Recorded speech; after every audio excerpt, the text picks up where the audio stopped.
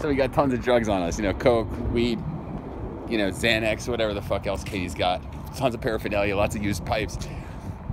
We check in here, you know. we go to the normal terminal, we call a number. He's like, yeah, I'll pick you up at 10. We check in this place.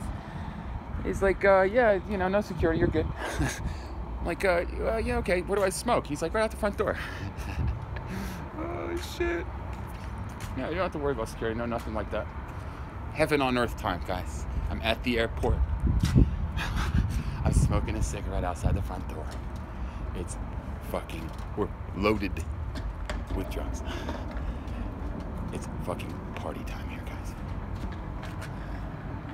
Heaven on earth.